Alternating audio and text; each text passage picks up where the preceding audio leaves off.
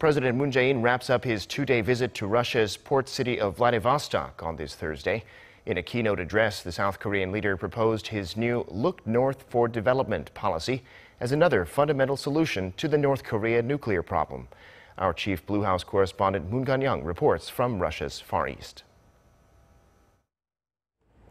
The Eastern Economic Forum here in Russia's port city of Vladivostok is aimed at fostering development in the Far East. It's Russian President Vladimir Putin's Look East policy. Now that South Korean President Moon Jae-in believes is in perfect line with his Look North for Development policy. The new South Korean president's debut at the Eastern Economic Forum. Delivering a keynote speech, President Moon rolls out his new Look North for Economic Development policy.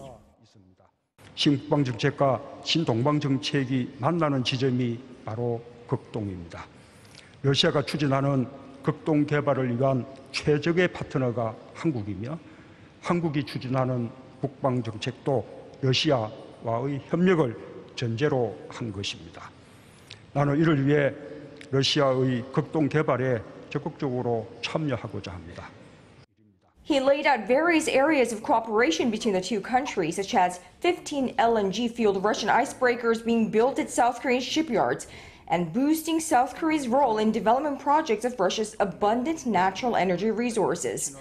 But at the very core of Mr. Moon's big vision goes beyond economic cooperation and beyond Russia.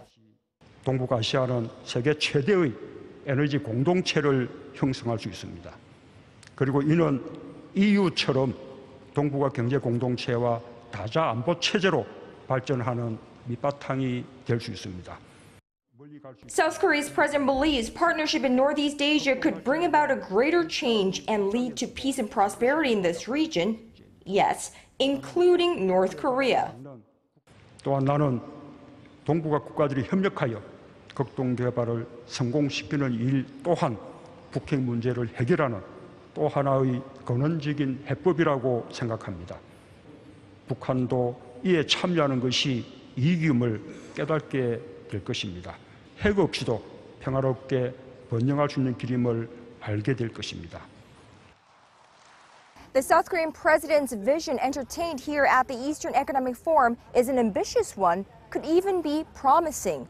But considering the nature of tensions here in Northeast Asia and the many parties of interest involved, it ain't going to come easily. President Moon continues to seek for global support. His next stage will be the UN General Assembly in two weeks' time. Moon Connyoung, Arirang News, Vladivostok.